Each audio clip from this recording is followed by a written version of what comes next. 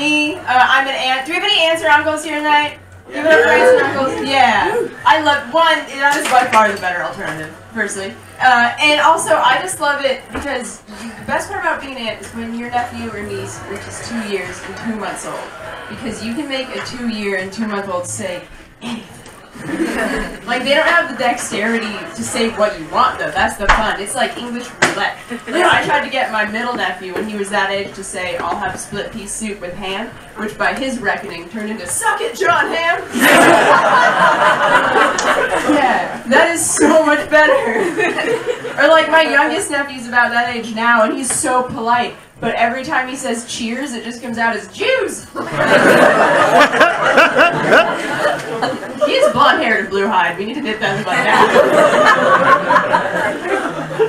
um, also, a little bit about me, like, like Tony said, I, I grew up in Seattle. Fuck Portland. I grew up in Seattle. uh, and then, then but I lived in Canada and Vancouver for, for about four years. Um, so we go across back and forth between the countries frequently. Uh, I want to pull all of you. Have any of you guys ever come across a border guard so good looking that you all of a sudden get the urge to be like, I'm a terrorist, maybe?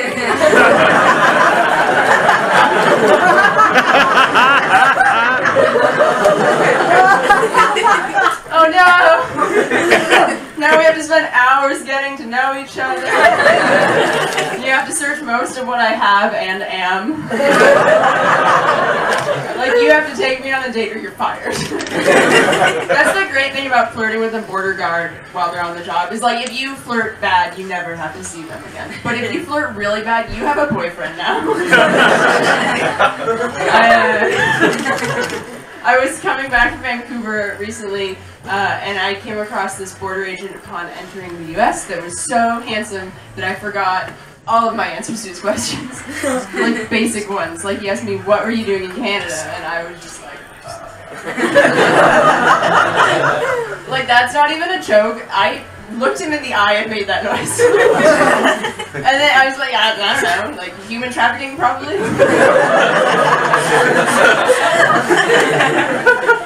and then he asked me if I had alcohol or tobacco. I said no, and he let me into America. that man is terrible at his job. I, I, was so like, I almost wanted to turn back and be like, "Are you sure?" Uh, but I was so like so shocked that as I kept driving, like in the back of my mind though, I was like, you know, like you can stay back there. you can get the return to Canada line.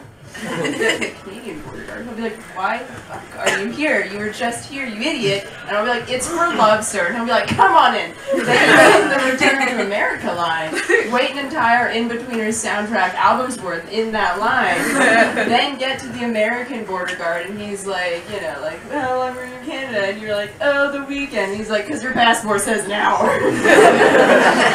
but I didn't. I just kept driving through nowhere. Uh, but like, in the back of my mind, he could have been the one. Like, he could have been, probably not, but he could have. he could have been the one, but we'll never know because I didn't have the balls to be like, there's heroin in the back. would have stopped him. That's how you know you're not a romantic, though. Like, if you're not willing to plant drugs on the back of your car, or at least lie about it, like, you don't believe them. uh, also, um, do we have any dog people here tonight? Yeah. yes, we do. um, I'm I'm I'm a dog. Like I'm definitely a dog person. Like I have on my lock screen and my wallpaper of my phone. They're both pictures of dogs, neither of which belong to me.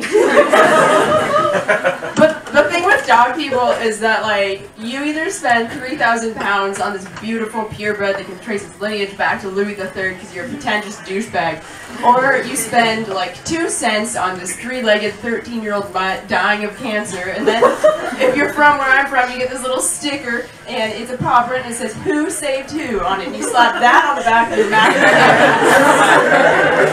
because you're a self-righteous douchebag. and like, first off, it's who saved whom. I've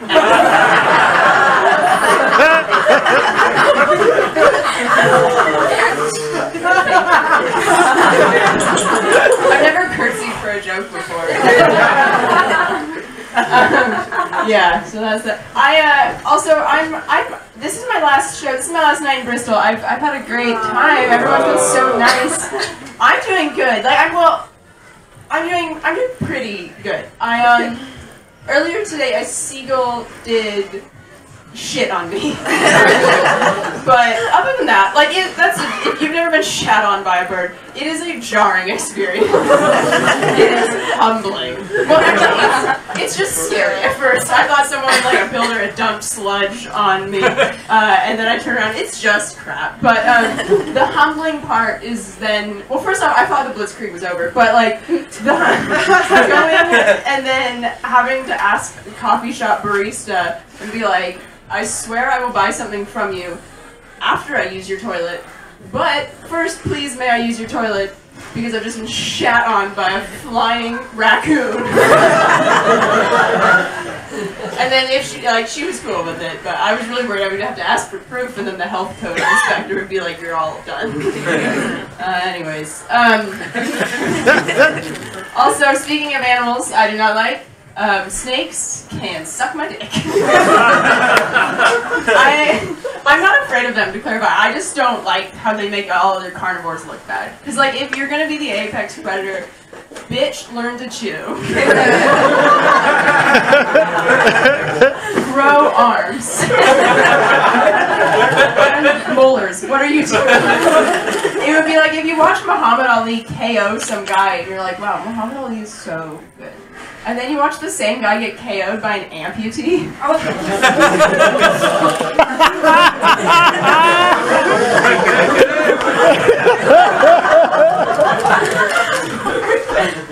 what? like it's six when like they make the tiger look like such a loser. Like no, no uppercut, no nothing. Like snakes are all core. Like.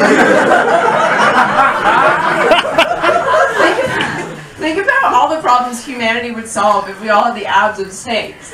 Like, I'm not saying America would have won Vietnam if our army was a bunch of Burmese pythons, but two things. One, we couldn't have done any worse. you, you made me laugh and that ruined that punchline, but I don't care. I'm like, like, here's the thing, like if we all had abs like that, no one would die in horror movies when they trip and fall. They would just fall over and then instead of getting murdered because they're useless on the ground, would just be like oh, like Michael Myers is just like, boiled and done.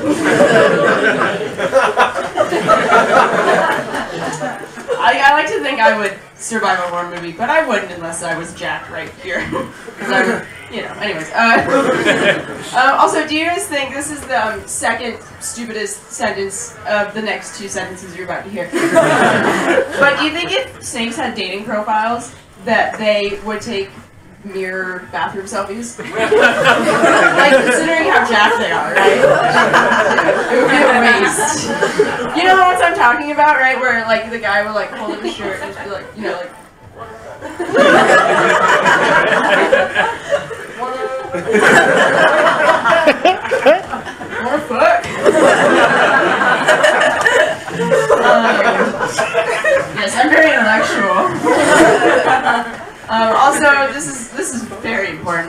Do you think when snakes eat something that's bigger, like a deer, they get to the say they start at the leg or whatever, and then they get to the body, which is much bigger.